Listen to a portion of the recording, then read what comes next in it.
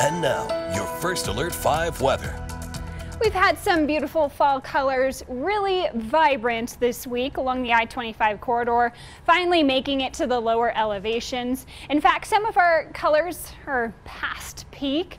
And Quail Lake is starting to get more towards that dead color instead of the beautiful yellow color. So we're starting to lose some leaves at Quail Lake from Carter Chavez. Beautiful shots there, as well as from Cheyenne Canyon from Bruce. So in terms of our temperatures, it hasn't felt like fall today. Had the record heat, certainly feeling more like late summer conditions. And regardless though, it's making for a really beautiful night. 74 in Colorado Springs, so if you're heading out downtown, really comfortable t-shirt weather for now, but that temperature will drop pretty quickly. So maybe just have a light jacket with you just in case it gets a little too chilly. And 80 in Pueblo still at this hour. Looks like we are starting to lose some of the leaves as well at the Riverwalk, but still some fall colors left to come in the next few weeks. For temperatures right now, again, we're still just slowly recovering from our really toasty day. 60s and 70s right now in our mountains, 70s and 80s in the plains. It's 80 still in Rye, 70 in Alamosa, 79 in La Junta.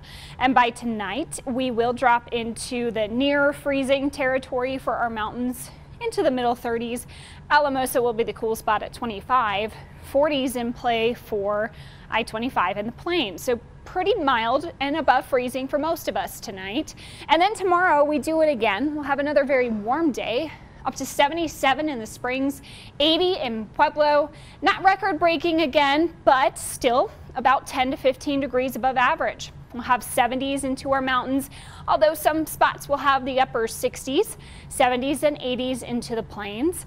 In Teller County, that's where you'll find some 60s tomorrow, mostly 70s for the El Paso County region, up to 74 for Ellicott, up to 80 for Boone and 80 in Pueblo tomorrow, Pueblo West up to 78. So we'll have this warmth sticking around for the start of the weekend. And in general, on Saturday across the state, we will be nice and sunny and warm. Pretty much everybody's in the 60s or 70s, couple low 80s.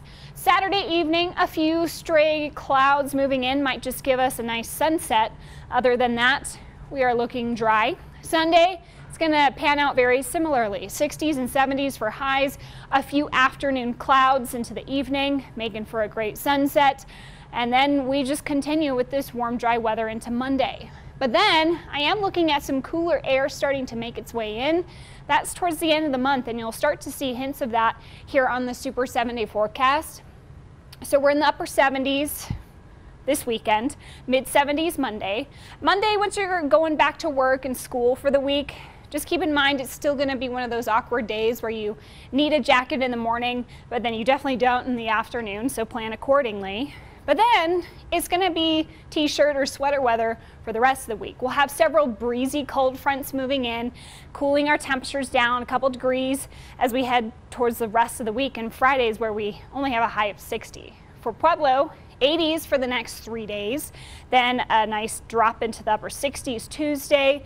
Breezy with our next cold front moving in through the end of the week. 64 by Thursday, 61 on Friday. And we'll all look at more freezing overnight temperatures as we head to Thursday night.